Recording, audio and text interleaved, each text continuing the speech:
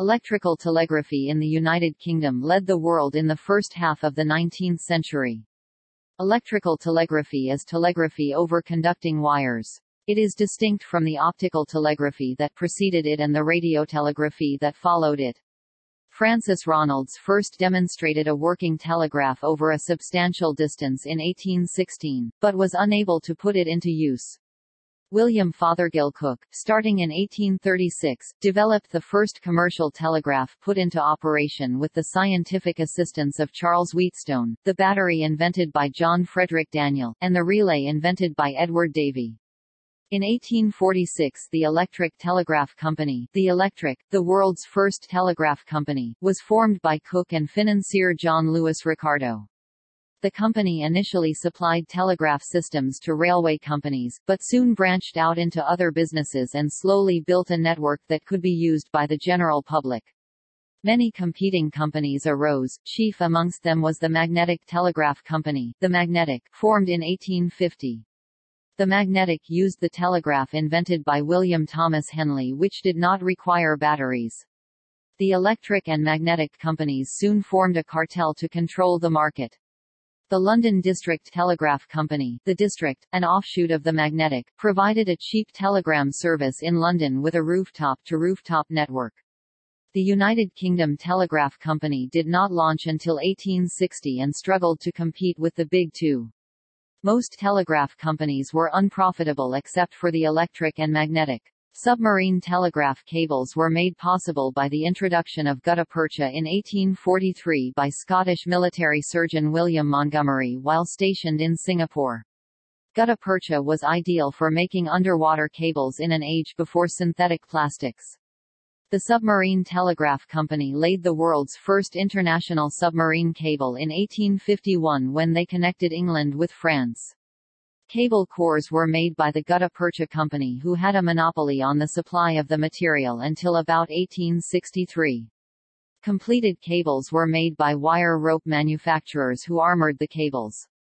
The Gutta Percha Company merged with one such wire rope manufacturer, R.S. Newall and Company, to form the Telegraph Construction and Maintenance Company Telcon, in 1864 at the instigation of John Pender. Pender was the leading entrepreneur responsible for constructing a worldwide telegraph network. The transatlantic telegraph cable was laid by his Atlantic Telegraph Company in 1866 after several failures. Many more Pender companies were formed to lay various cables connecting Britain with its colonies in India and then on to the Far East and Australia. Once the cables were laid, these disparate companies were merged into the Eastern Telegraph Company, first established in 1872. The company was absorbed into Cable and Wireless Limited in 1934. The inland telegraph companies were nationalized in 1870 and were then run as part of the General Post Office. Companies operating international submarine cables were left independent. A major mistake made during nationalization was that the estimated costs failed to take into account the cost of purchasing railway company wayleaves, or even that it would be necessary to do so. The final bill far exceeded the original estimate. The telegraph was never profitable under nationalization because of government policies. Prices were held low to make it affordable to as many people as possible and the telegraph was extended to every post office issuing money orders, whether or not that office generated enough telegraph business to be profitable. Telegraph usage increased enormously under the post office, but it was never as cheap as the postal service and growing competition from the telephone started to eat into its market share. The telegraph was an important resource in both World War I and World War II which somewhat delayed its decline. Decline was also countered with the introduction of special greetings telegrams birthdays etc. in 1935 which proved highly popular. Even so, by 1970 telegram usage had fallen to its lowest ever total under nationalization. Repeated price rises to control the deficit drove usage down even further. Post Office Telecommunications was separated from the Post Office as British Telecom in 1981 to enable it to be privatised, which occurred in 1984. In 1982 British Telecom ended its inland telegram service. International telegrams could be sent by telephone and were received by ordinary letter post. Some private wire use of telegraph continued after the end of the telegram service, and the telex system continued in use by an ever-diminishing group of private users. Most of these succumbed to alternatives on the Internet in the 1990s.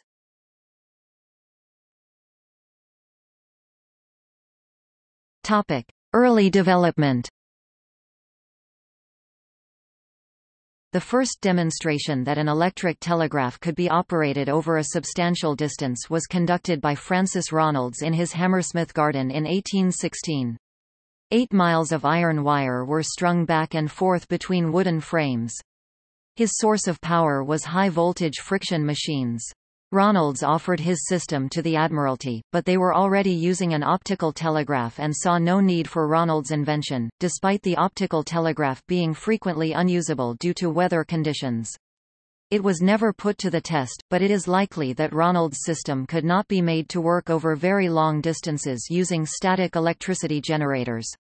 Even the relatively short test system only worked well in dry weather. Nearly all the telegraph systems that were finally successful used batteries of electrochemical cells as their source of power.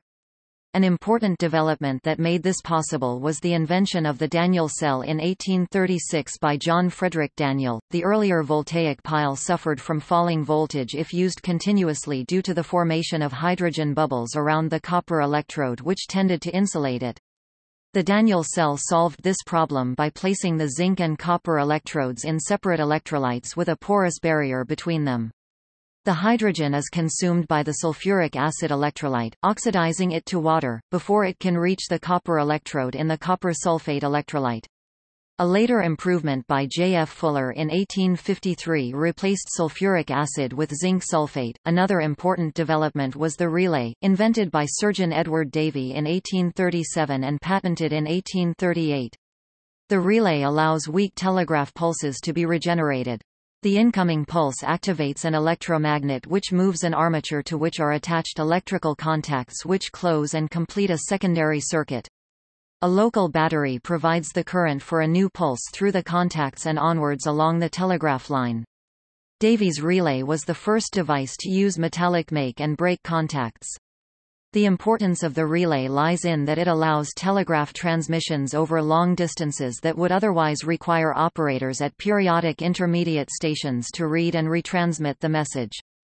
Davy began experimenting in telegraphy in 1835, demonstrated his telegraph system in Regent's Park in 1837 over a mile of copper wire, and held an exhibition in London, but after his marriage broke down he abandoned telegraphy and emigrated to Australia. The driving force in establishing the telegraph as a business in the United Kingdom was William Fothergill Cooke. Cooke initially made a telegraph with a clockwork detent mechanism operating electromagnets. The first mechanical apparatus was built in 1836. He pitched the telegraph to various railway companies as a means of signaling to control trains but without success.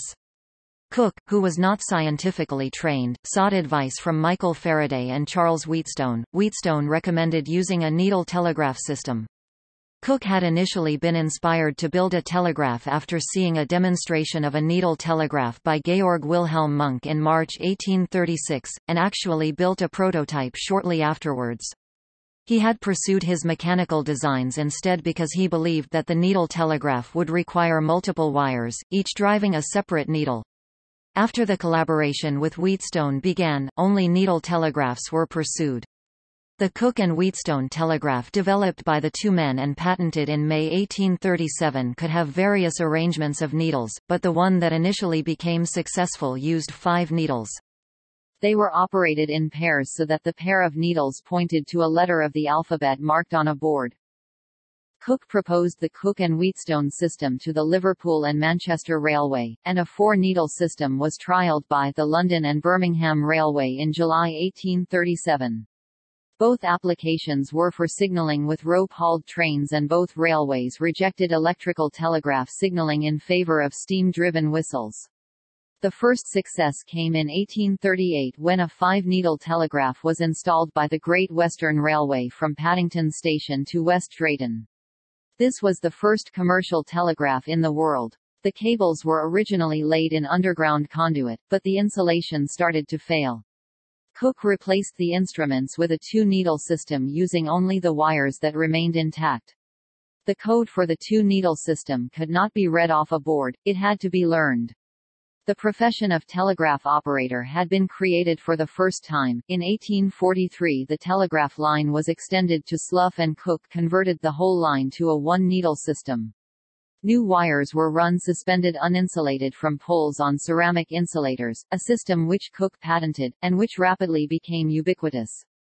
This extension was done at Cooke's own expense. The railway company was unwilling to finance a system it still considered experimental. Up to this point, the Great Western had insisted on exclusive use and refused Cooke permission to open public telegraph offices. Cooke's new agreement gave the railway free use of the system in exchange for Cooke's right to open public offices, for the first time establishing a public telegraph service. A flat rate of one shilling was charged regardless of message length, unlike later pricing schemes, but many people paid this just to see the strange equipment.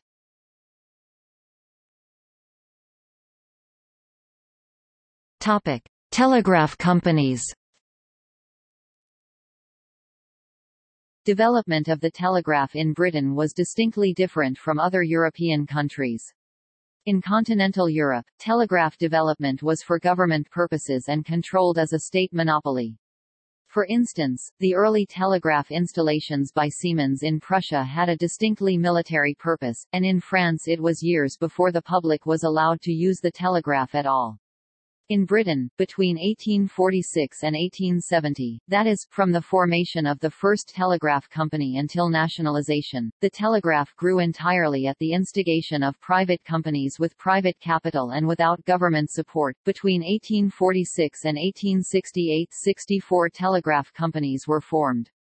However, 68% of them failed and only a handful of them grew to any significant size.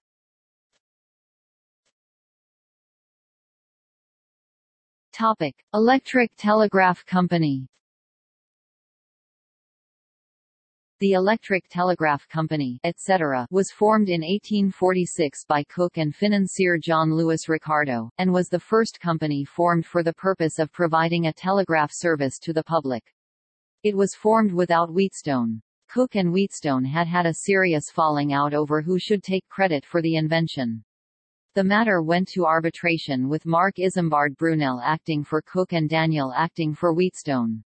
A compromise was reached with them both taking some credit. Wheatstone was uninterested in commercial enterprises, wishing only to publish scientific results.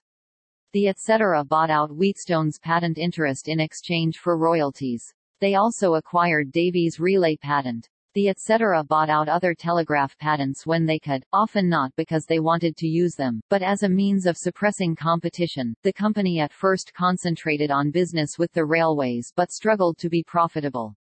On the other hand, their relationship with the railways gave them a structural advantage over competitors that started up later. By the time competitors came on the scene the etc. had agreements with most railways.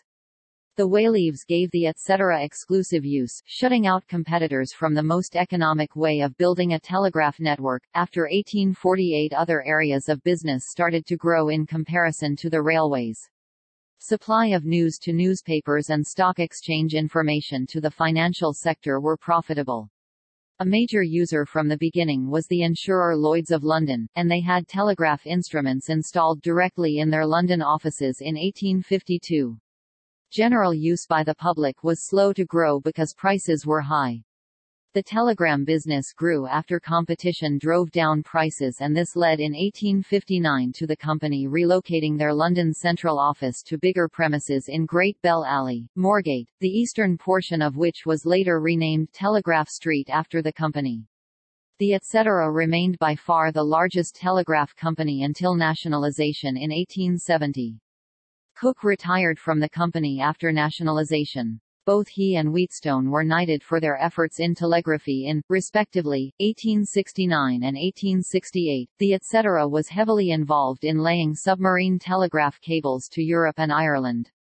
They operated the first cable ship permanently fitted out for laying cables, CS Monarch. In 1853 they created the International Telegraph Company to overcome Dutch objections to a British company laying telegraph cables on their soil. This company was merged back with the Etc. in 1854, the name of the new company becoming the Electric and International Telegraph Company. Other subsidiaries created which laid submarine cables were the Channel Islands Telegraph Company 1857 and the Isle of Man Telegraph Company 1859.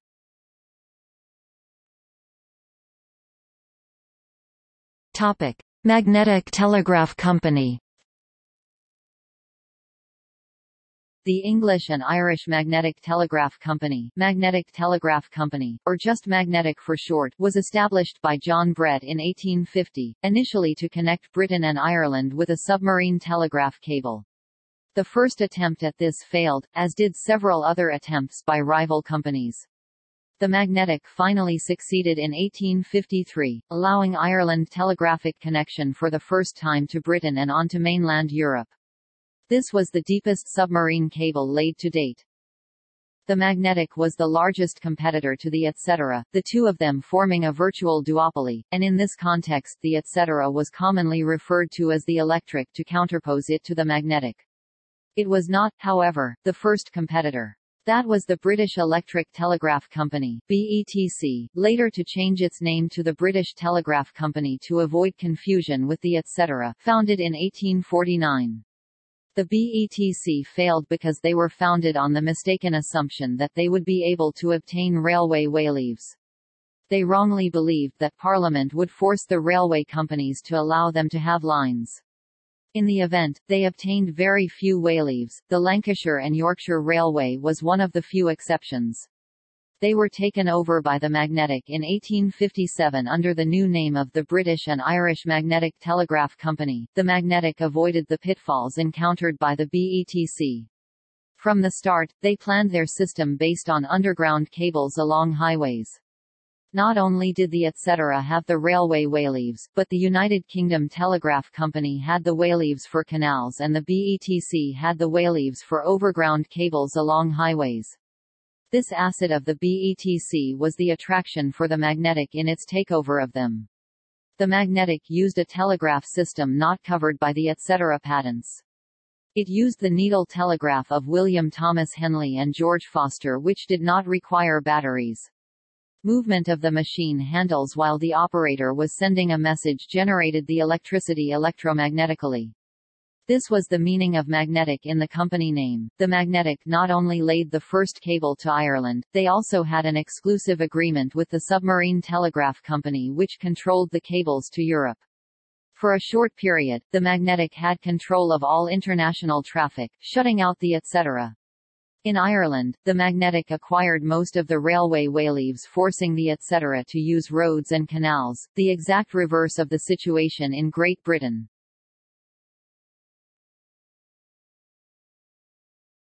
Topic: London District Telegraph Company. London District Telegraph Company, the district, formed in 1859 in London, was a company closely associated with the Magnetic. John Watkins Brett and Charles Kemp Dyer were directors of both companies and E. B. Bright was secretary of both. Their telegraph operators were trained at the Magnetic's headquarters in the Strand. The Magnetic installed the telegraph lines for the district and leased them back to the district for a peppercorn rent in exchange for the district passing on the Magnetic's messages to and from outside London. The business model of the district was to provide cheap telegrams within London and not install expensive links between cities. Prices were fourpence for 10 words and sixpence for 15 words. By comparison, a long-distance telegram on the electric cost 4 shillings. The area of the district was to be within 4 miles of Charing Cross, with possible later expansion to 20 miles. The district avoided the expense of erecting telegraph poles or burying cables by stringing the wires from building to building, a technique that could only be used in heavily built-up areas. Rooftop telegraphs may have been cheap to install, but obtaining the wayleaves could be troublesome. Thousands of individual permissions had to be sought and some unusual conditions were sometimes imposed. One householder insisted that the installers enter her property only once after wiping their feet to access the roof. Meals were hoisted up to the workmen on the roof until they had finished. In all, around 7,000 interviews and negotiations were conducted, many of them equally troublesome. To erect only 280 miles of wire, the cheap prices of the district stimulated a much more casual use of the telegraph. In 1862 the company transmitted a quarter of a million messages.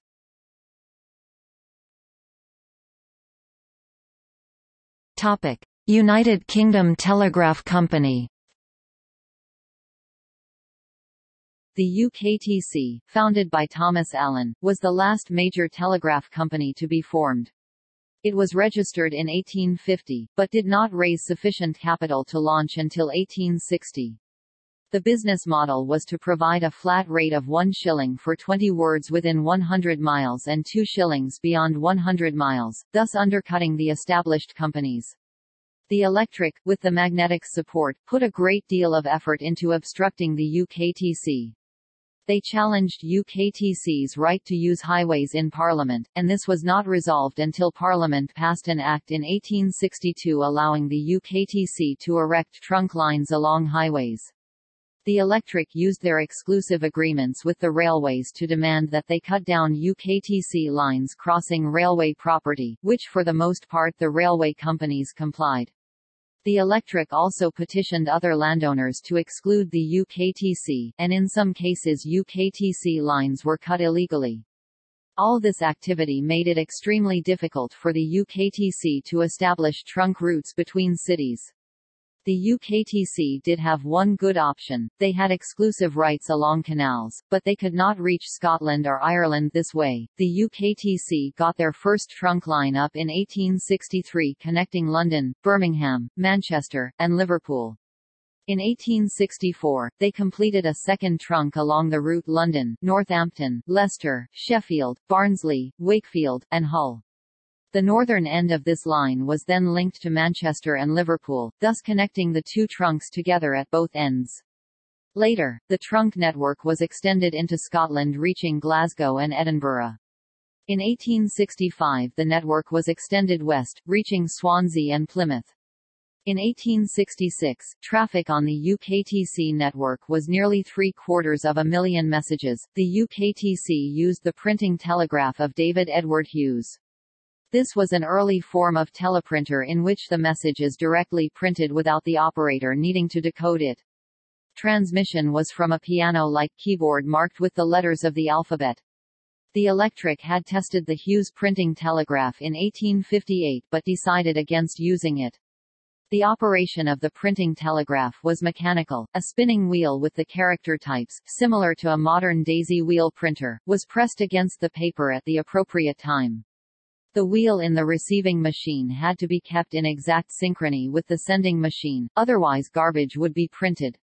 The Hughes machine did this by sending synchronization pulses down the line. This was a marked improvement on earlier machines which were slow and temperamental.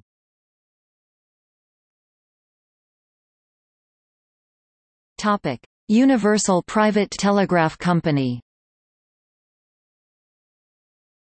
The Universal Private Telegraph Company UPTC was established in 1861 for the purpose of providing private telegraph links for companies and institutions.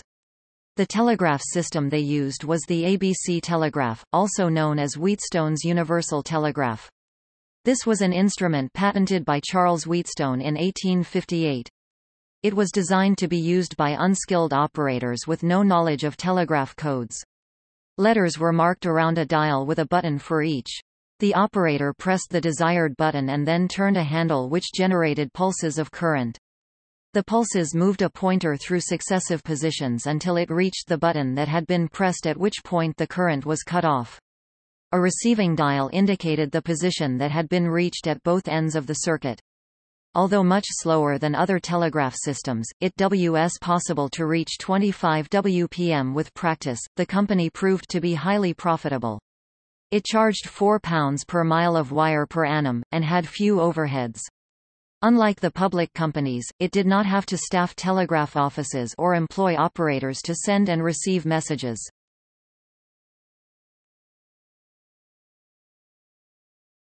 Topic. Profitability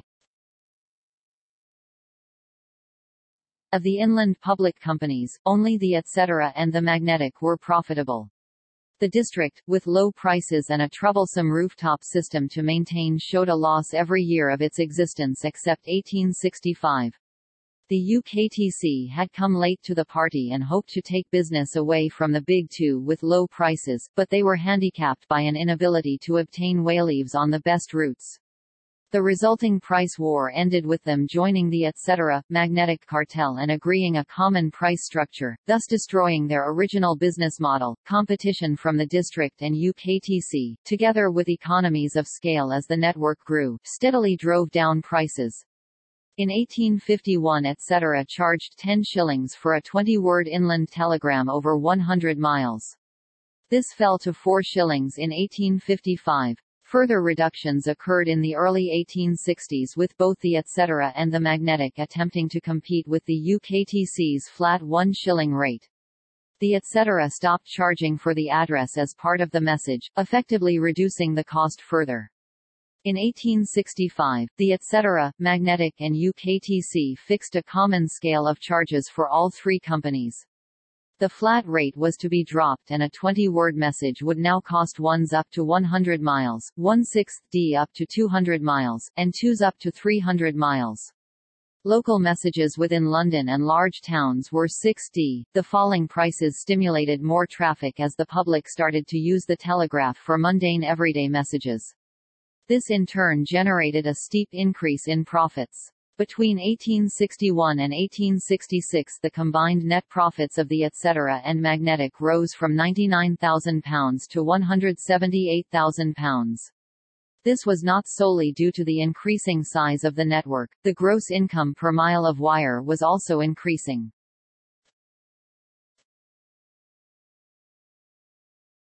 Topic. News service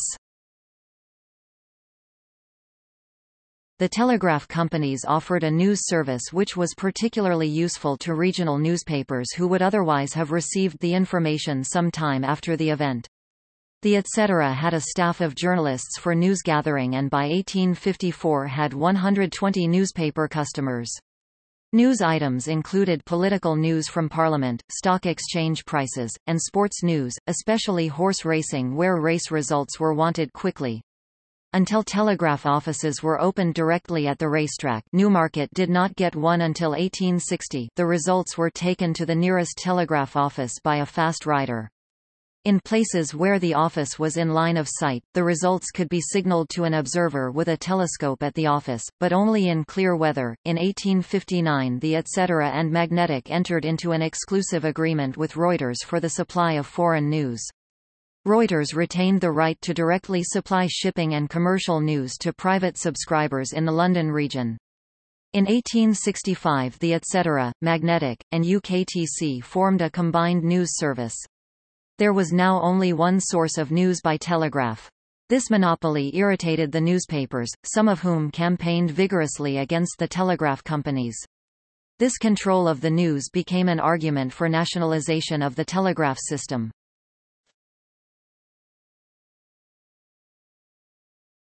Topic: Submarine cables. To connect the telegraph to anywhere outside of Britain submarine telegraph cables were needed. Development of these was held back for want of a good insulator. Rubber was tried, but was found to degrade in sea water. The solution came with gutta percha, a natural latex from certain trees in the Far East. Gutta percha sets harder than rubber when exposed to the air, but will become plastic, and hence moldable, in hot water. On cooling, gutta percha hardens again. The material was brought to attention after William Montgomery, the head of the medical department in Singapore, sent samples to the Royal Society in 1843. Montgomery had in mind using the material to make medical equipment. In the damp conditions of the tropics rubber deteriorated rapidly. However, Michael Faraday recognized its potential for underwater cables after testing some samples. Wheatstone had put plans to the House of Commons for submarine cables as early as 1840. In 1844-5 he tested, probably short lengths, of cable in Swansea Bay. He tried various insulations, including gutta percha, but he could not find a suitable way of applying it to long runs of cable. Topic cable manufacturing companies The Gutta Percha Company was founded in 1845 to exploit the new material. They initially made bottle stoppers, but soon expanded to a very wide range of products. In 1848, on hearing of the potential use for telegraph cables, they modified a machine for extruding gutta percha tubing into one capable of continuously applying gutta percha to a copper conductor. Up to 1865, nearly all the cores for submarine cables in the UK were made by the Gutta Percha Company which had a monopoly on the supply of gutta percha.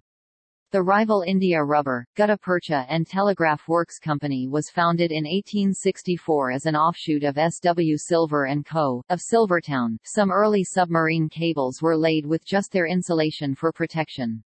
These were not very successful, they were easily damaged and some attempts to lay cables failed because they would not sink.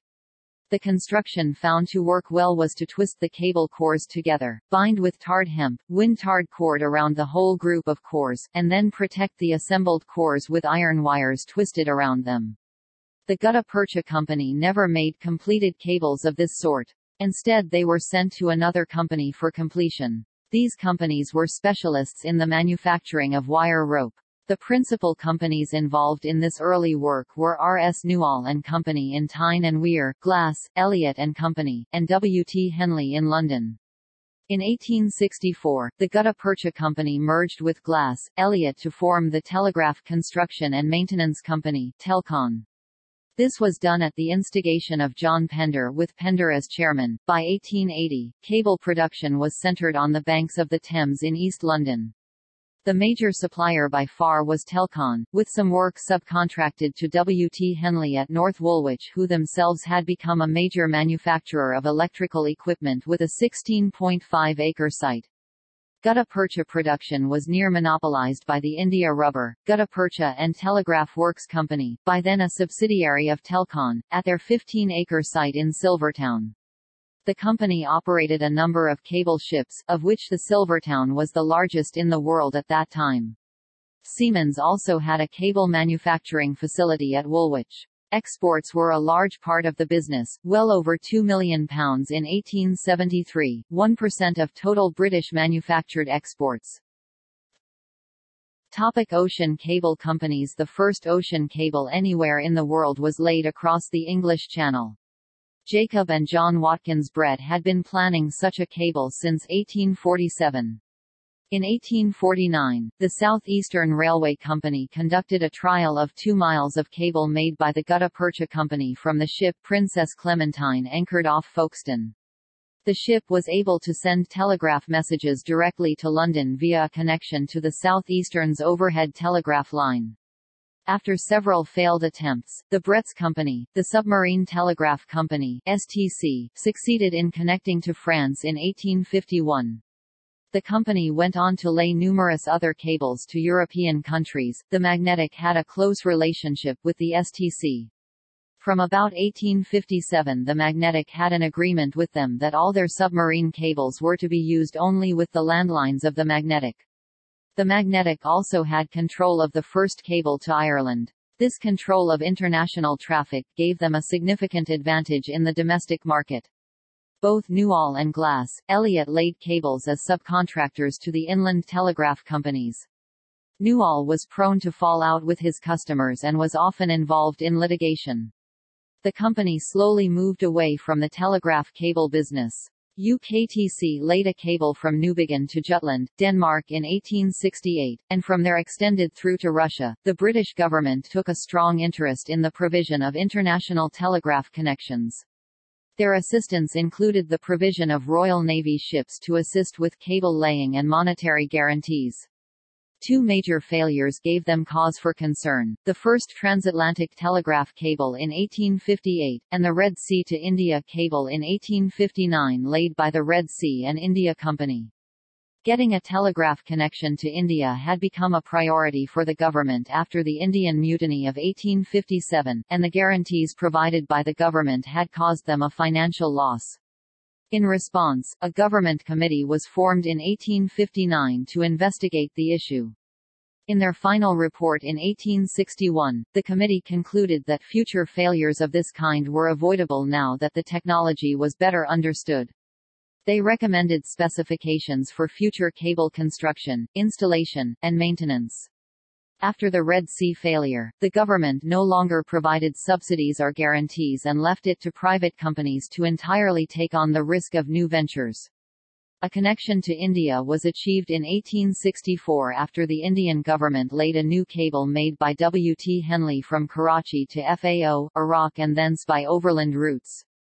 This route was a shorter distance in ocean than the Red Sea route and in shallower water, but still 1,450 miles. This was the first really long submarine cable to be a permanent success. Pender's motivation in creating Telcon from the merger of Glass, Elliott and the Gutta Percha companies was to create a company that could make and maintain the first successful transatlantic telegraph cable for the Atlantic Telegraph Company, formed in 1856. With great difficulty, this was achieved in 1866. The transatlantic connection was the last major link in an international network. London could now communicate with almost any other telegraph office in the world. In 1862, a new submarine cable had been laid from Queenstown in southern Ireland to St David's Head in Wales. When this was connected to the transatlantic landing point at Valentia Bay, opposite Valentia Island, it dramatically reduced the distance transatlantic messages had to travel from Ireland to London from 750 miles to 285 miles. Success of the transatlantic cable triggered the formation of a multiplicity of new companies to lay more submarine cables around the world. Most of these companies were founded by Pender. Pender's first project was to lay a new cable to India that went most of the distance in international waters where it would remain in British control and avoid the political and other risks of an overland route.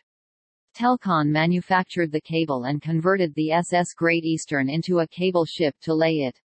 To limit the risk, Pender founded three companies, each tasked with laying one section of the cable. The Anglo-Mediterranean Company, founded 1868, laid a cable from Malta to Alexandria in Egypt. From there a short overland cable via Cairo connected to Suez. The Falmouth, Gibraltar and Malta Telegraph Company, founded 1869, connected Malta, to Porthcurno, Cornwall with landings at Gibraltar and Carcavelos, Portugal. Falmouth was originally intended as the landing site in England, but in the event, the tiny village of Porthcurno became the largest submarine cable station in the world after numerous other cables were landed there. The final link was provided by the British Indian Submarine Company founded 1869 from Suez via Aden to Bombay in 1870. Once the connection was complete, all three companies were merged as the Eastern Telegraph Company in 1872. James Anderson, the captain of the Great Eastern was made managing director. A cable going east from India was laid by the British Indian Submarine Extension Company in 1871. This ran from Madras, which was connected overland to Bombay, to Singapore via Penang and Malacca. This met a cable in Singapore laid by the China Submarine Telegraph Company, founded 1869, running to Hong Kong. The British-Australian Telegraph Company, founded 1870, then connected Hong Kong to Port Darwin, Australia via Java. This was the end point of the Australian Overland Telegraph Line, running 2,000 miles to Port Augusta in South Australia. The three companies were merged as the Eastern Extension, Australasia and China Telegraph Company in 1873. This company connected Australia to New Zealand in 1876. Other Pender companies included the Western and Brazilian Telegraph Company 1873, the Brazilian Submarine Telegraph Company 1873, Marseille, Algiers and Malta Telegraph Company 1870, Eastern and South African Telegraph Company 1879, and the African Direct Telegraph Company 1885. All these companies were merged into the Eastern Telegraph Company, which became the Eastern and Associated Cable Company and the largest multinational of the 19th century. The development of the undersea telegraph cable network began in the late 19th century. In October 1902 a worldwide network of cables and relay stations, including some 100,000 miles of undersea cables, was inaugurated. This was called the All Red Line and carried long-distance telecommunications to all parts of the British Empire. It was so called because at that time British territories and colonies were usually coloured red or pink. In 1928 the British submarine cables still dominated world telecommunications, but they were increasingly under threat from radiotelegraphy. A particular concern was RCA in the U.S., but they were also losing business due to the imperial wireless chain set up by the British government to connect the empire together. The transmitters for the imperial chain were supplied by the Marconi Wireless Telegraph Company which was also a competitor outside the empire. The Electra House Group, an informal alliance of British telecommunication companies, decided that they could best compete worldwide by merging the cable and radio companies into a single entity. Thus, the Eastern Telegraph Company and the Marconi Wireless Company were merged into Imperial and International Communications Limited, which in 1934 changed its name to Cable and Wireless Limited. The Porthcurno station stayed open for exactly 100 years, closing in 1970 when the last cable was taken out of service.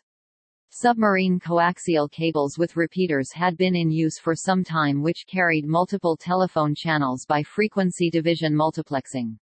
There was no real need for distinct telegraph cables anymore. Telegraph was declining and multiple telegraph channels could be multiplexed into a single telephone channel since the 1920s. The building is now the Porthcurno Telegraph Museum and Historic Archive of Cable and Wireless.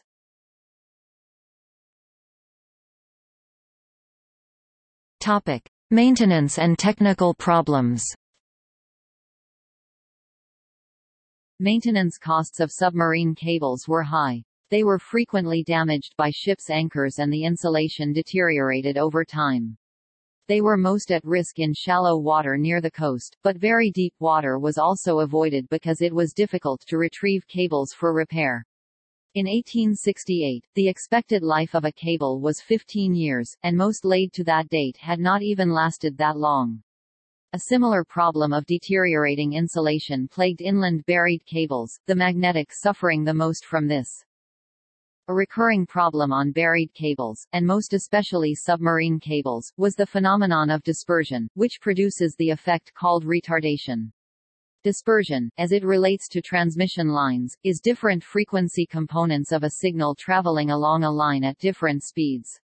Frequency analysis of this sort was not understood by early telegraph engineers. The effect of dispersion on a telegraph pulse is to spread it out in time. This is because a rectangular pulse, as used in telegraphy, has multiple frequency components. At the receiving end it appears as if part of the pulse has been retarded, hence the term. The problem this causes for telegraphy is that adjacent pulses smear into each other, and if severe enough the message cannot be read. It forces the operator to slow the speed of sending so that there is again separation between the pulses. The problem was so bad on the first transatlantic cable in 1858 that transmission speeds were in minutes per word rather than words per minute.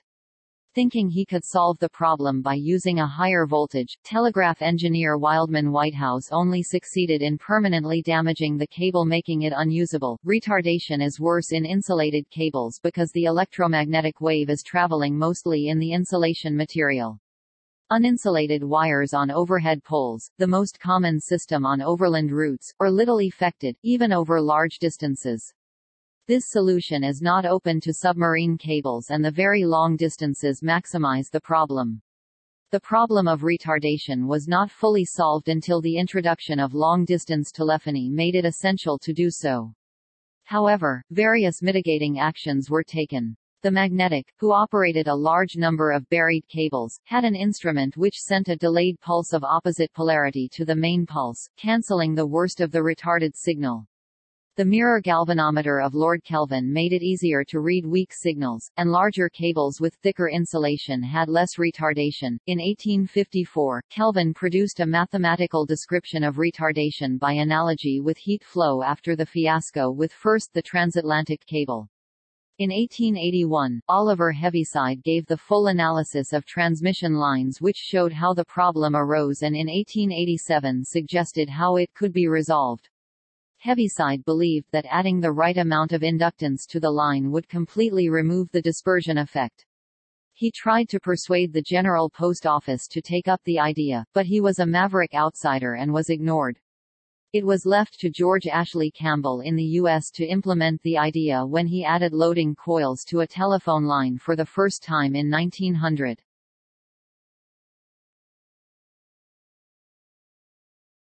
Topic: Employment of women. The telegraph companies began employing women as telegraph operators early on. The Magnetic was one of the first to do so and the ETC started employing them from 1855. It was a popular, keenly sought job with unmarried women, who had few other good options. It was a well-paid job in nice surroundings. The ETC paid between tens and thirties per week and the Magnetic paid a starting rate of tens. The district also heavily employed women when it started up in 1859. New recruits were unpaid until they completed training typically six weeks at the end of which they were expected to achieve a minimum transmission speed 10 WPM at the magnetic and 8 WPM at the ETC Failure to achieve this minimum speed resulted in dismissal. These wages compared very well with other common occupations for women. A seamstress working at home, for instance, earned about 3d day. The pay was still less than a male operator could expect. Holding down pay and the fact that women were not organized into unions were the primary reasons the companies preferred to employ them. Adolescent boys were also employed, but only men ever worked the night shifts.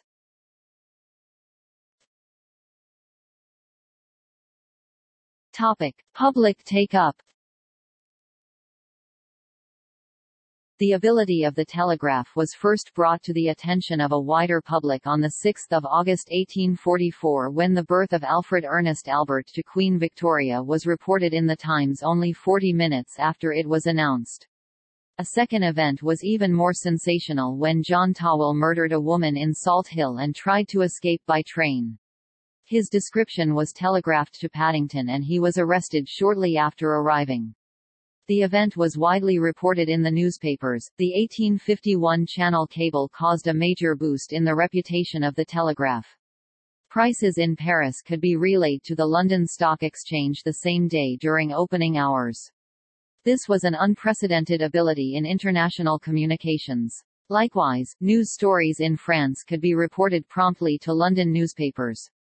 Also in 1851, the Great Exhibition featured many telegraph instruments which greatly enhanced the public awareness of the telegraph. The biggest driver of public take-up was the fall in prices, firstly, through competition under the companies, especially competition with the district, and later price control under nationalization.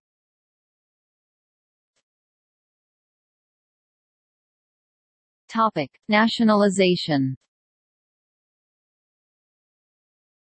An early advocate of nationalization was Thomas Allen in 1854. Allen believed that a flat rate of one shilling for 20 words regardless of distance would encourage wider use of the telegraph, which in turn would lead to more intensive usage of lines and the economic case for building new lines. This could only come about, according to Allen, if the post office ran the network as a unified whole, comparing his proposal to the effect of the introduction of the penny post. Allen later tried to bring about cheaper telegrams through private enterprise by founding the UKTC. A more surprising, and more influential, advocate was John Ricardo, free trade campaigning member of parliament, railway entrepreneur, banker, and co-founder of the ETC In 1861 he wrote a memorandum to William Gladstone, then Chancellor of the Exchequer and future Prime Minister, setting out the case for nationalisation. Ricardo's argument was that the telegraph was an important government tool for diplomatic, military, and administrative purposes. He pointed out that in all European countries state control had been in place from the beginning. The first sign of government disquiet came in 1862 when the act enabling the UKTC was passed. Provisions were made to prevent the UKTC selling assets to other companies without permission. This was to discourage the UKTC from joining the emerging cartel in the telegraph industry.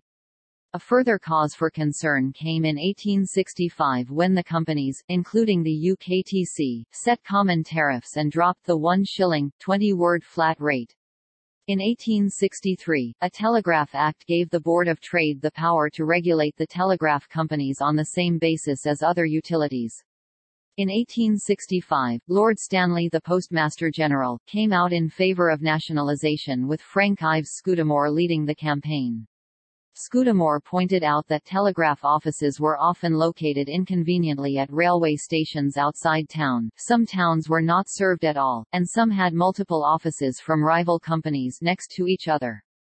State control in continental countries, according to Scudamore, ensured a more rational and convenient distribution of offices and cheaper rates led to greater telegraph use. His opponents pointed to the United States where rates were also cheaper, but with a great profusion of private companies. Many newspapers campaigned for nationalization. They were generally dissatisfied with the news service they got from the companies, and they especially resented not being able to choose their own news provider. They wanted the telegraph merely to deliver the product from their chosen supplier.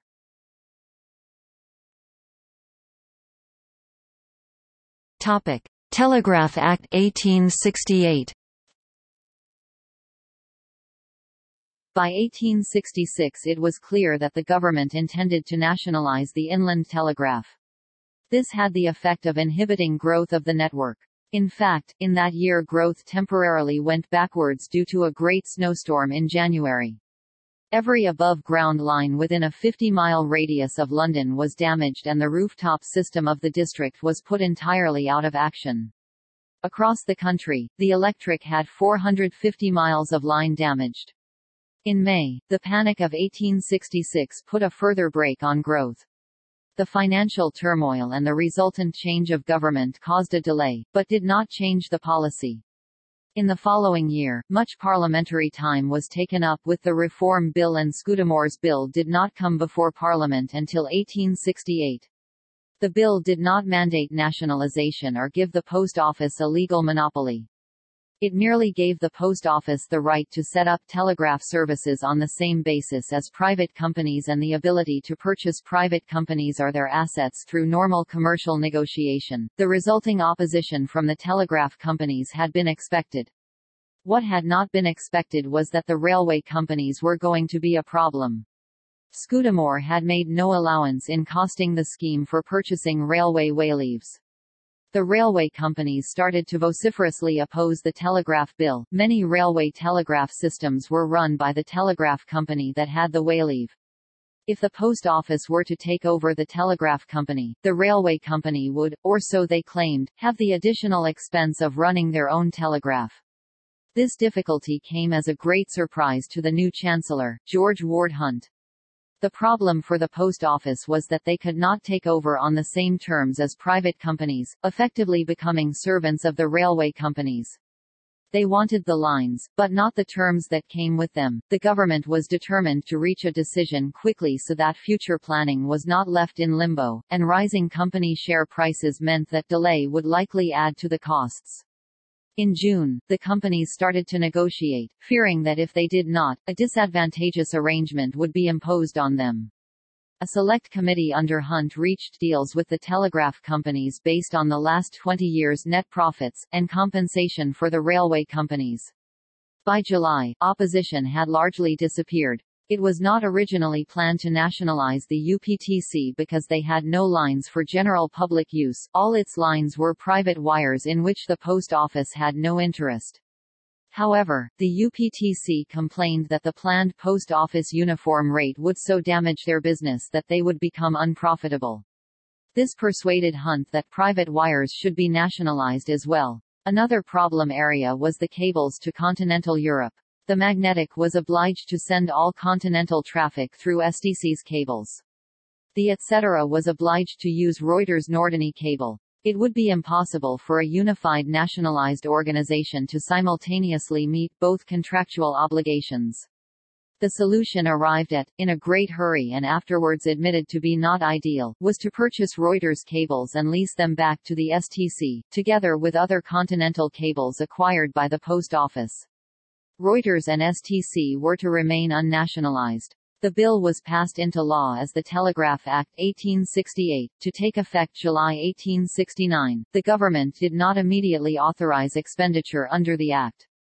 They had become concerned that entrepreneurs who had been bought out would set up in business again undercutting the post office flat rate of 1 shilling in lucrative city areas 6D had been charged in London by the district, with no obligation to serve unremunerative outlying areas. Consequently, nationalization was delayed until the Telegraph Act of 1869 was passed. This amended the 1868 Act to create a post office monopoly, with the actual transfer taking effect on 1 January 1870. Companies operating submarine cables with no landlines were excluded from nationalization. Any company that had not, so far, been taken over by the Post Office could demand this happen under the Act for the same 20-year net profit basis as before. Several small companies that the Post Office considered virtually defunct and not worth buying took advantage of this. The Telegraph Act's Extension Act 1870 extended the monopoly to the Channel Islands and the Isle of Man resulting in the purchase of the Jersey and Guernsey Telegraph Company and the Isle of Man Electric Telegraph Company. The Orkneys and Shetland Telegraph Company was purchased in 1876–77 and the Scilly Islands Telegraph Company in 1879–80.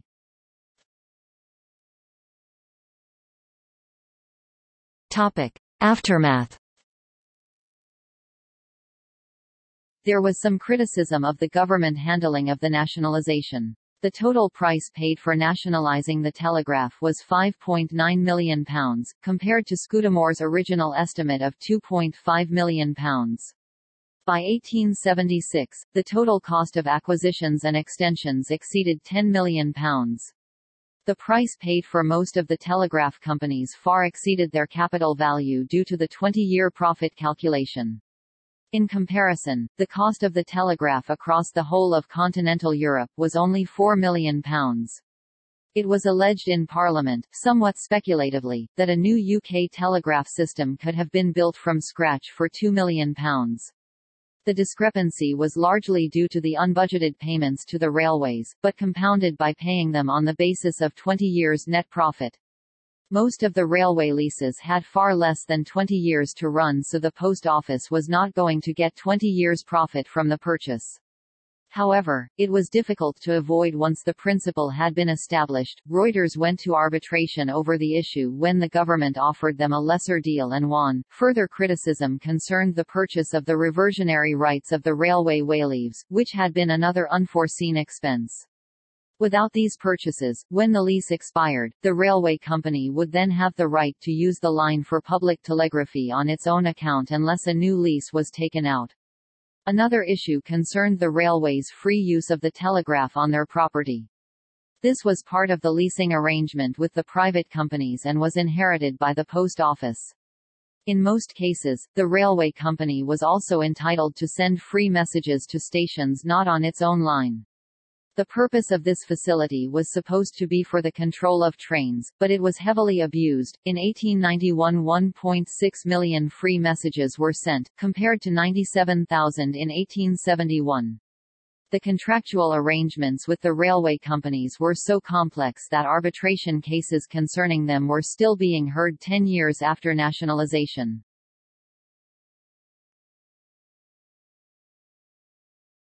Topic: Post office telegraphs Post office telegraphs placed their head office in Telegraph Street in the old ETC building. The ever-open door was their slogan above the entrance. Immediately after nationalization, they set about extending the telegraph from outlying railway stations to town centers. It was their policy to provide telegraph facilities at every office from which money orders could be sent, a great increase on the existing number. For instance, the number of telegraph offices in London increased from 95 in 1869 to 334 in 1870. By the end of 1870, over 90% of telegrams were sent from post offices. By 1872, the post office had 5,000 offices and traffic had increased 50% over pre-nationalization, to some 12 million messages per year. More offices meant installing more lines, plus the lines handed over to the railways for operating their own internal telegraphs had to be replaced. In 1872 there was 22,000 miles of line, 83,000 miles of wire, and over 6.000 instruments. By 1875, the Telegraph Street Central Office was the largest telegraph center in the world with 450 instruments on three floors working connections both domestically in the UK and worldwide on the Imperial Telegraph Network. The Post Office decided to standardize on the Morse telegraph system, which had been the international standard since 1865. A great variety of different equipments had been used by the companies. The largest company, ETC., used the Cooke and Wheatstone needle telegraph. It is possible to send Morse code on a needle telegraph system but this is slower than using Morse sounders. This standardization could not be immediately implemented everywhere, not least because the Franco-Prussian War prevented imports of German-made instruments. Some needle telegraphs continued in use, mostly on the railways, well into the 20th century. In 1873 Scudamore left the post office under a cloud. He had been taking money out of other post office budgets to pay for the unforeseen costs of telegraph expansion, anticipating that Parliament would soon approve more money. He went to Turkey where he was employed to modernize the post and telegraph of the Ottoman Empire. The losses of post office telegraphs steadily grew till 1914. Interest on the capital overspend was not the only problem. Although Scudamore's estimate of the increase in traffic from expansion proved largely accurate, the operating costs were badly underestimated. As a result, net revenue was not sufficient to cover the interest on loans and year-on-year -year the debt was growing. On the other hand, the post office overall remained profitable throughout. The government attempted to stop the rot with a change in policy in 1873. No longer was it policy to open a telegraph facility at every office issuing money orders in outlying areas. It would now have to be shown first that the office was likely to be profitable. There was no proposal to disconnect already connected unprofitable offices. However, the number of these declined with increasing traffic. The situation was not helped when in 1883, against the wishes of the government and the Chancellor of the Exchequer Hugh Childers, Parliament, under pressure from business groups, called for the minimum charge on inland telegrams to be reduced to 6d. In 1885 Postmaster General George Shaw Lefevre introduced a bill to implement the 6d rate, which was passed into law. Shaw Lefevre tried to mitigate the adverse effects by limiting 6D telegrams to only 12 words, including the address. Addresses had previously been free, but would now be charged for on all telegrams. £500,000 was spent on new wires and training additional staff in anticipation of the increased traffic.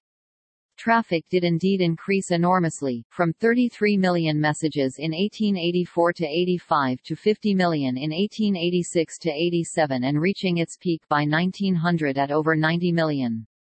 At the same time, there was a large increase in the deficit, mainly due to the cost of the increased staff. Despite the losses, the telegraph was retained in national ownership as it was considered a public service.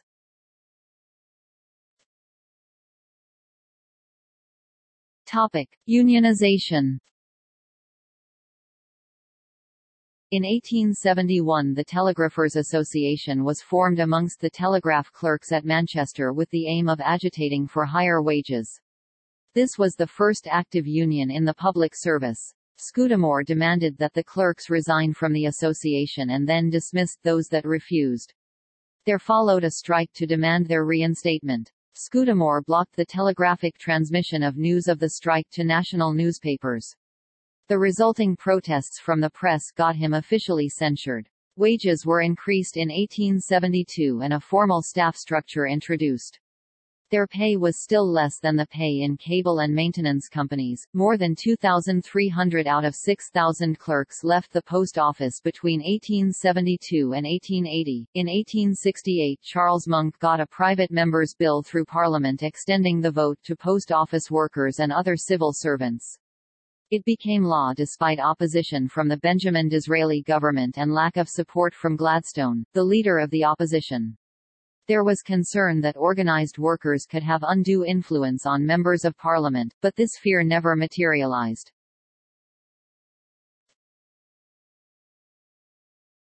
Topic: Exchange Telegraph Company. The Exchange Telegraph Company, later known as Extel, was, like Reuters, a news distribution service. It was founded in 1862, but was a very minor player until 1872 when the Post Office granted it a license to provide London Stock Exchange prices and other financial news to its customers in London. Their license limited their operation to within 900 yards of the stock exchange. Similar licenses were later granted for local stock exchanges in Liverpool, Manchester, Leeds, Birmingham, Edinburgh, Glasgow, and Dublin. These were all linked to a central office from where news could be distributed. Extel also provided a service for calling the police, or raising a fire alarm.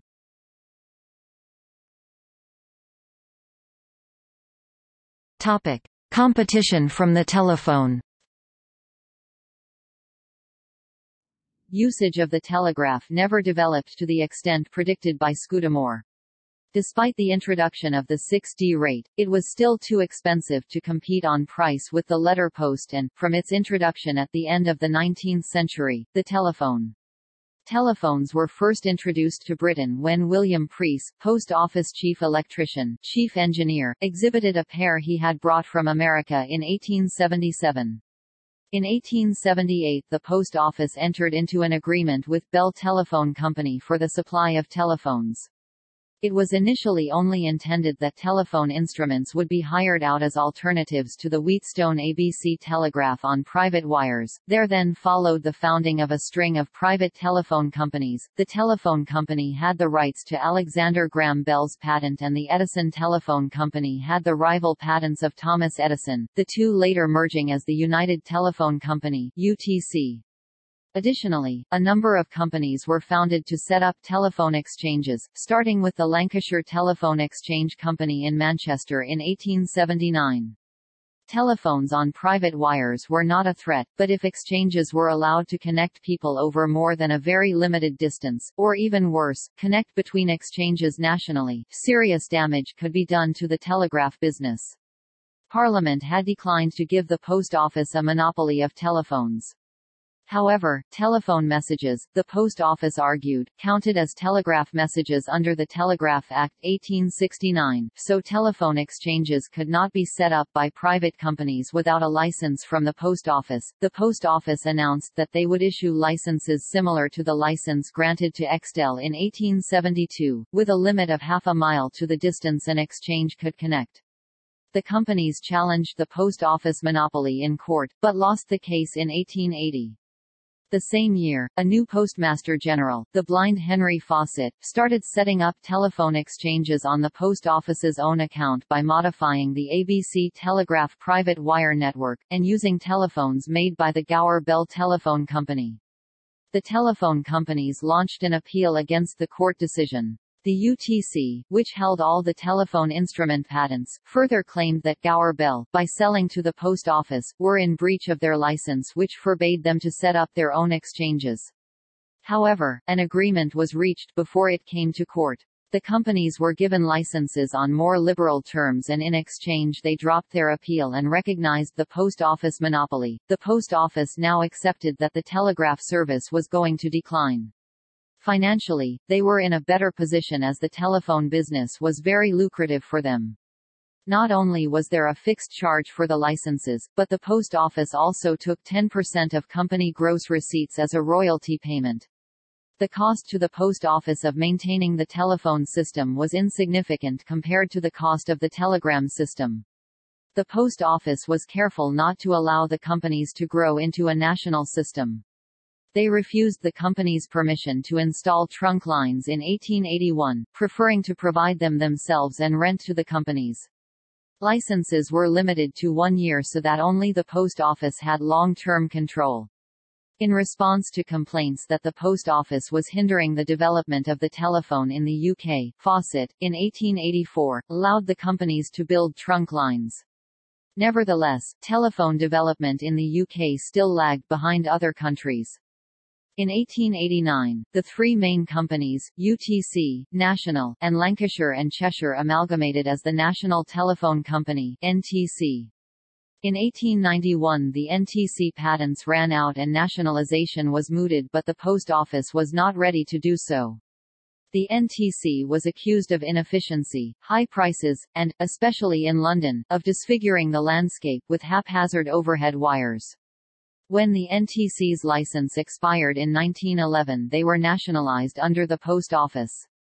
After 1911, telegraph usage declined rapidly. At the same time, telephone use grew, especially after 1960. By 1970 there were nearly 14 million telephones in the UK, nearly double the 1960 figure.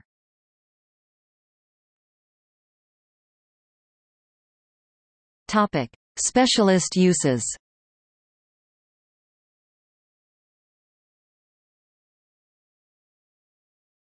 Topic: Railway block signaling.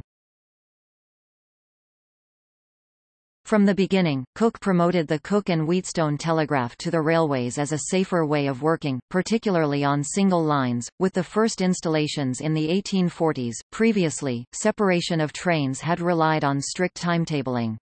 Block working, controlled by the telegraph, ensured that only one train at a time could be on a section of line. The benefits of block working were not generally appreciated until the late 1860s. The number of block instruments on the London and North Western Railway, for instance, increased from 311 in 1869 to 3,000 in 1879.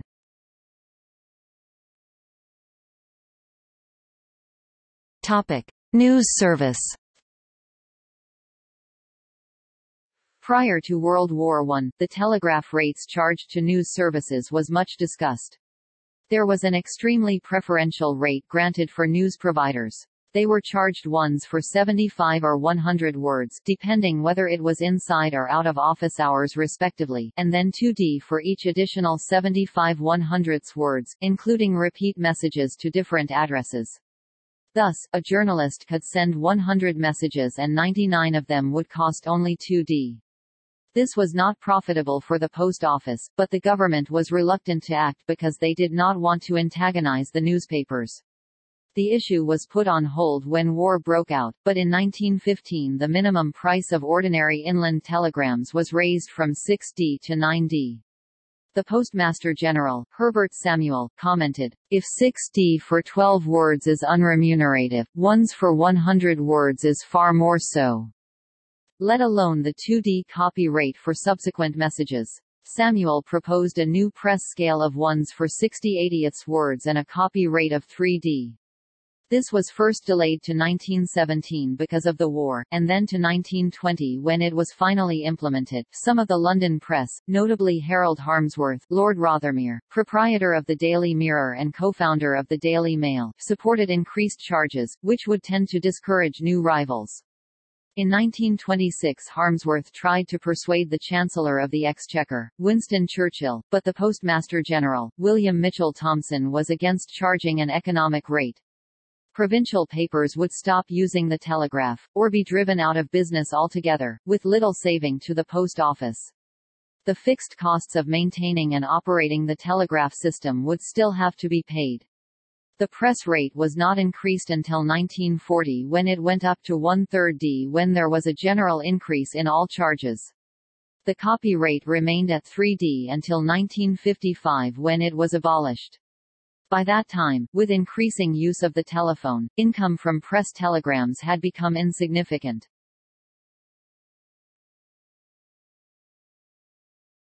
Topic: Military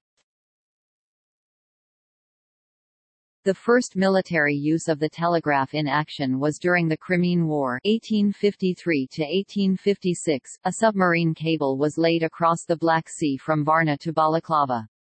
The Army found the use of civilian volunteer telegraphists problematic because of their lack of military training. From 1870, the War Office arranged with the Post Office for the training of military telegraphists. Royal Engineers from the Telegraph Battalion were employed on state telegraphs and withdrawn for overseas duties in time of war. In World War I, the telegraph was recognized as being of crucial importance. Both sides tried to damage the international telegraph lines of the other.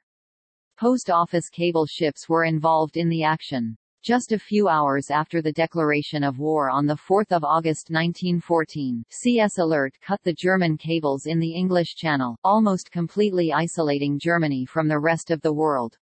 In 1915, CS Monarch was sunk by a German mine off Folkestone.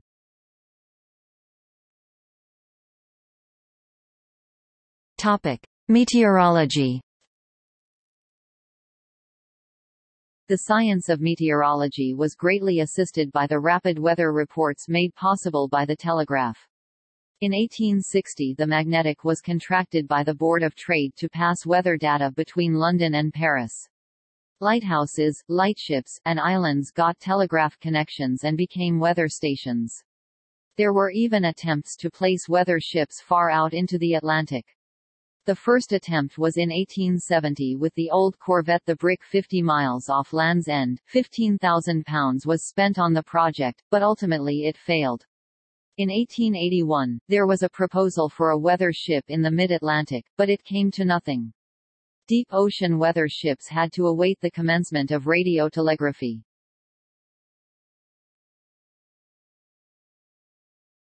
Topic: Emergency services. The provision of telegraph connections to lightships gave a means of calling for assistance to a ship in difficulties. Prior to having a telegraph connection, there had been cases of ships wrecked on rocks after being seen to be struggling by a lightship for as long as 12 hours. For instance, the SS Agnes Jack sunk with the loss of all hands in January 1883 in view of a lightship off the coast of Wales. Installation of street call points to raise a fire alarm by electric telegraph had been installed in Europe as early as 1849 in Berlin. Siemens Brothers had proposed a system in Manchester using the now ubiquitous break glass call points around 1861. The town council rejected the scheme through fear of hooliganism. The first system was not installed in Britain until the Metropolitan Fire Brigade in London took it up in 1880, installing 40 call points. Other towns soon followed and there was a dramatic reduction in serious fires as a result. The police were an early user of telegraph private wires. In 1850 Scotland Yard had a line to Charing Cross railway station. In 1860 the police stations of the City of London were connected together using the Wheatstone ABC system. Church steeples were used to keep the wires high and out of reach of vandals and criminals. In 1872–73 the Metropolitan Police connected numerous points in their district to police stations. Topic automation The teleprinter was invented in the United States in 1915, but was not taken up by the Post Office until 1922, after a British company, Creed & Company, started producing a similar machine in 1921. From then on, teleprinters started to replace the Morse system, and Morse was completely eliminated from post office landlines and submarine lines in 1932, but continued in use in radiotelegraphy. A teleprinter has a typewriter-like keyboard for sending messages, which are automatically printed at both the sending and receiving end. The system had great cost savings for the post office. The operators did not need to be trained in Morse and the receiving operator did not need to be attending the machine during receipt of the message. It was only necessary to fix the printed message to the telegram form for delivery. Thus, one operator could work several telegraph lines simultaneously. On busy lines, multiplexing was used to avoid the cost of erecting additional wires. The post office used a system that could simultaneously send four messages in each direction, eight simultaneous messages in all. These systems were usually used in conjunction with high-speed paper-punched tape readers to maximize the usage of the line. Messages were first typed into punched tape before sending to the line. The code used was the Baudot code, invented by Émile Baudot. Early keyboards used were Baudot's five-key piano keyboards, each key corresponding to one of the bits of the code, and hence to one hole in each column of holes on the tape, but later keyboards were typewriter-like. Because traffic was declining in the 1920s, it was not worthwhile to automate many less busy lines. Wherever possible, the post office closed direct lines and diverted traffic onto the main automated lines by a more circuitous route. About 80 such circuits were closed. Between 1929 and 1935, on the recommendation of a committee set up by Postmaster General William Mitchell Thomson in 1927, the old Morse and Baudot equipments were replaced with Creed teleprinters without waiting for the apparatus to reach end of life. The War Office expressed concern at this change, they would no longer have a pool of trained Morse operators to call upon. Another innovation in this period was the use of motorcycle messengers to speed up delivery, automation, closing uneconomic lines, and staff rationalization reduced, but did not eliminate, the deficit on the telegraph service. Between 1930 and 1934 the deficit fell from over £1 million to £650,000.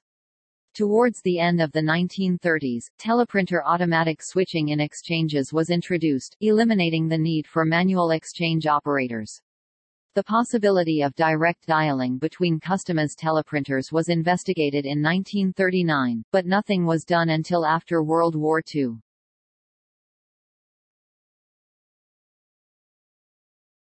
Topic: Decline and recovery.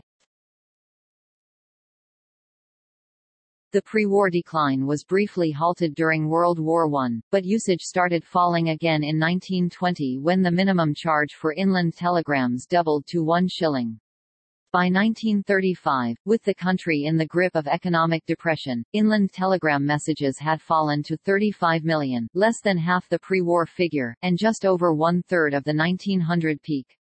At the same time, telephone usage rapidly increased as the number of subscribers grew. Telephone calls grew from 716 million in 1919 to over 2.2 billion in 1939.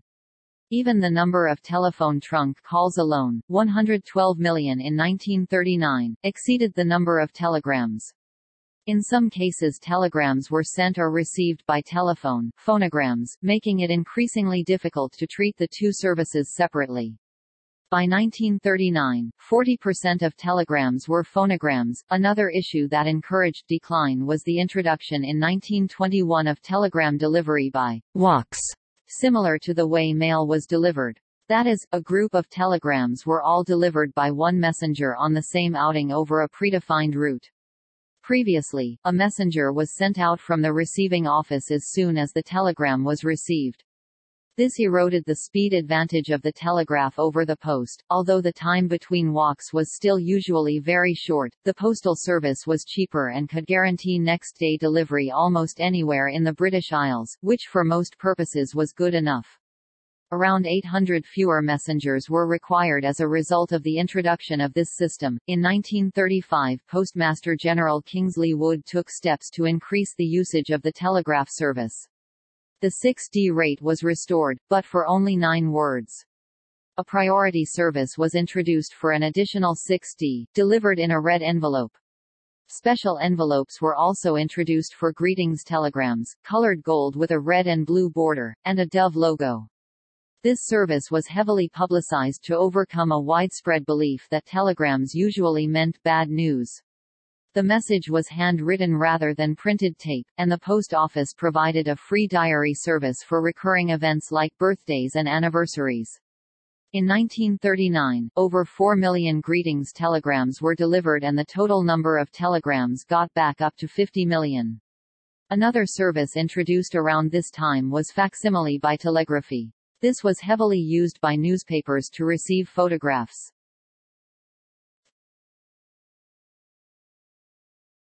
Topic: World War II. World War II saw an increase in telegraph traffic.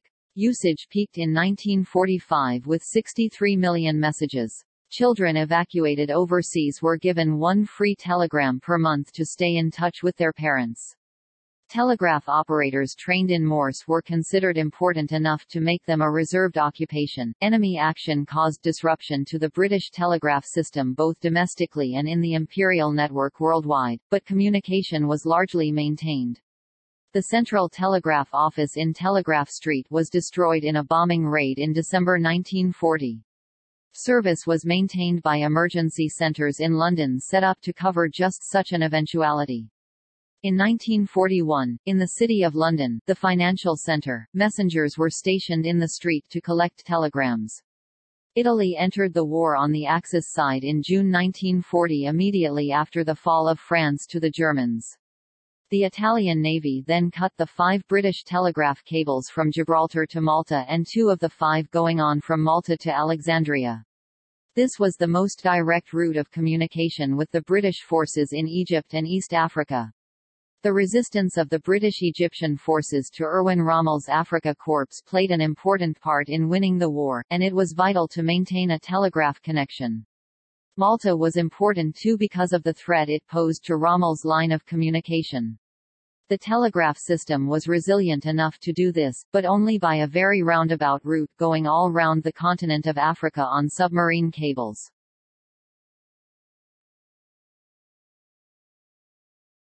Topic. End of the telegraph era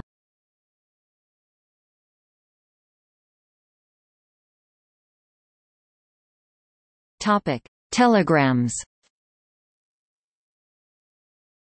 After the war, telegram usage went back into decline and the deficit was back in the millions of pounds. Telegram numbers were 42 million in 1950, under 14 million in 1960, and only 7.7 million in 1970, the lowest it had ever been under nationalization. Repeated price rises by successive Postmasters General Ness Edwards and Ernest Marples to try to keep the deficit under control only made the situation worse by driving traffic down even further. Other measures were the ending or reduction of special prices for certain categories. These included the end of free messages for the railways in 1967, increase of the press rate, and increase of the surcharge for telegrams to the Republic of Ireland, which had not been part of the United Kingdom since 1922, and officially a republic since 1949. One area that continued to grow was greetings telegrams. More special occasion categories were added and premium deluxe Telegrams were introduced for some categories in 1961. Business use of public telegrams, once the major user of the service, was now minimal. In 1969, Post Office Telecommunications, of which the telegraph service formed a part, was made a distinct department of the Post Office, and in 1981 it was separated entirely from the Post Office as British Telecom as a first step to its privatisation in 1984. British Telecom ended their inland telegram service in 1982. International telegrams were still handled, of which there were 13.7 million in 1970. However, incoming international telegrams were no longer delivered by messenger, they were instead delivered by ordinary post. The telegram service was replaced with the telemessage service in which the message is dictated over the phone to an operator and delivered by post in a yellow envelope similar to the old telegram envelope. British Telecom discontinued this service in 2003 and sold the business to Telegrams Online.